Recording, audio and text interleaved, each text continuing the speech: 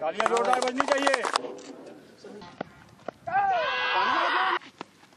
बढ़िया तो जो खेला है सुंदर नहीं है वहाँ पे जब तक एक रन आसानी से पूरा कर लेगी तो किसी को वहाँ पे पॉइंट पे खड़े थे जब तक इसमें कितनी टीमें हिस्सा ले रही हैं और क्या मैसेज है ये जूनियर हाई स्कूल शिक्षक संघ द्वारा आयोजित ये इलाहाबाद मंडल की मंडली प्रतियोगिता है जिसमें चार जनपद भाग ले रही हैं चार जनपद की टीमें इलाहाबाद जो प्रयाग अब आज है कौसम्बी फतेहपुर और प्रतापगढ़। मैसेज क्या देना चाह रहे हैं इसके इसके द्वारा हम ये संदेश देना चाहते हैं कि आपसी सौहार्द बढ़े बच्चों में खेल के प्रति शिक्षा के साथ साथ पढ़ाई के साथ साथ भी जागरूकता हो।